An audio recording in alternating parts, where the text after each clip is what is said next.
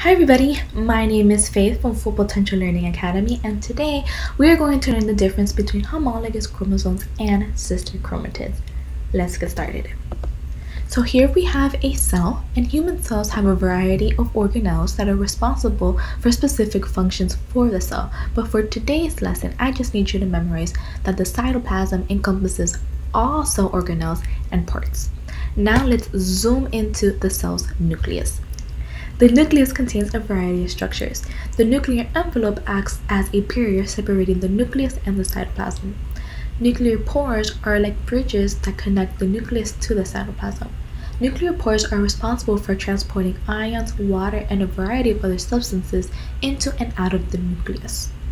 The nucleus also contains the nucleolus, which is responsible for ribosome biogenesis.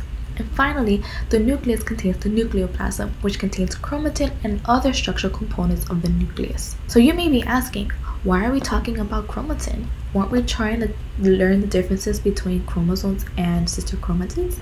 Well, to learn about chromosomes and chromatin, we have to learn the progression of DNA to chromosomes. So DNA is composed of ribose sugar, phosphates, and nitrogenous bases.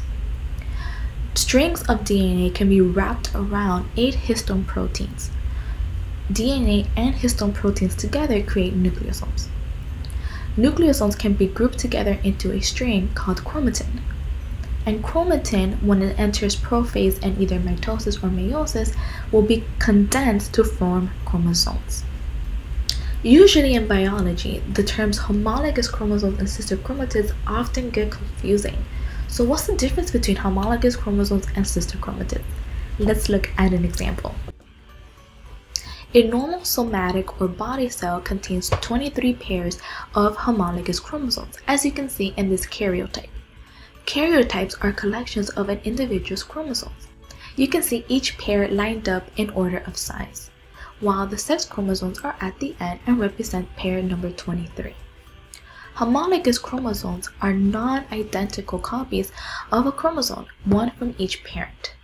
Cells with two complete sets of chromosomes, one from each parent, are called diploid cells and are represented as 2n equals 46, where 2n represents the number of complete sets, so one from dad and one from mom, which makes 2, and 46 represents the total number of chromosomes. So if each set has 23, chromosomes, then 23 plus 23 is 46. So diploid cells are represented as 2n equals 46. Now let's say that the cell wants to divide into two identical daughter cells. As we learned in a previous video, this process is called mitosis. Mitosis is preceded by interphase. Interphase has three subphases, GAP1, S, and GAP2. In synthesis, chromosomes are duplicated. Therefore, each individual homologous chromosome now has a sister, one that is identical to the original. The original chromosomes with its duplicated pairs are called sister chromatids. Sister chromatids are connected together during mitosis and meiosis II by a centromere. Sister chromatids are pulled apart during anaphase in mitosis and anaphase II in meiosis II. This is a very zoomed in example of the splitting of sister chromatids in one cell during anaphase 2. Remember that in meiosis, cell division occurs twice. The first division splits homologous chromosomes, while the second division splits sister chromatids. As you can see, individual sister chromatids are brought to opposite ends. Right after sister chromatids are split, they will be individually called chromosomes again. The resulting daughter cells will contain only one set of chromosomes.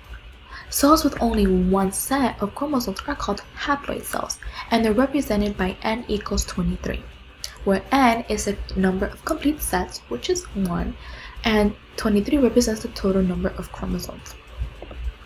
Now here is a summary of everything that we've learned. 1.